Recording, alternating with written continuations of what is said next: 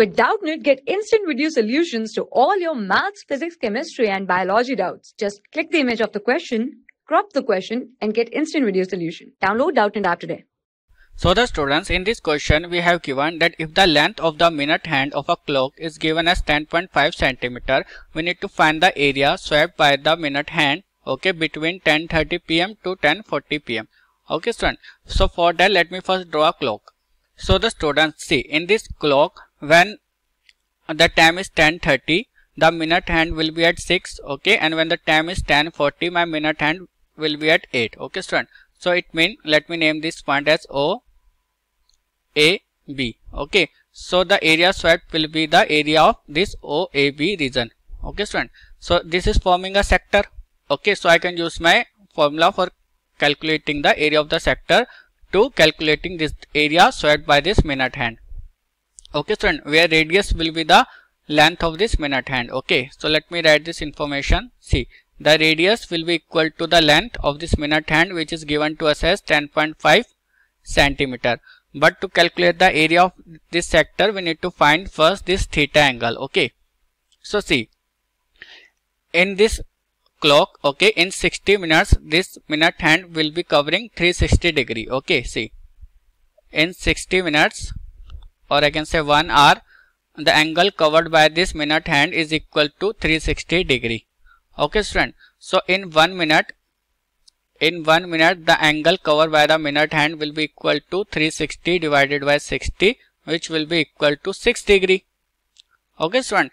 And see in this we have covered 10 minutes. Okay from 10:30 to 10:40 we have covered 10 minutes. Okay so in 10 minutes the angle covered will be equal to this 10 into 6 degree which will be equal to 60 degree okay which will be equal to my theta okay. So my theta is coming out to be 60 degree. Now I can use my formula of area of a sector to calculate this area of this area swept by this minute hand from 1030 to 1060 okay student.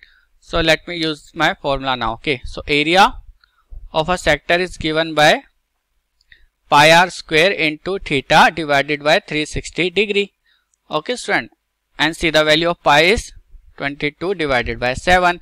See radius will be the length of the minute hand which is given to us as 10.5 centimeter. So I can write here 10.5 square and this into theta. Theta is what? Theta is 60 degree. Okay, so it will be 60 degree divided by 360 degree. Okay, so let me simplify this first. Okay, so see, uh, I can curve this on 1 into 6. Okay, student? And see this is 10.5 square okay? Or just I can calculate here okay? So if I calculate this area this will be equal to what? This will be equal to 57.75 and units will be in see the length of my minute hand is in centimeter so my area will be in centimeter square okay student so hope you understand the solution thank you it is 57.75 centimeter square. Thank you. For class 6 to 12, IIT JEE and NEET level. Trusted by more than 5 crore students. Download Doubtnut app today.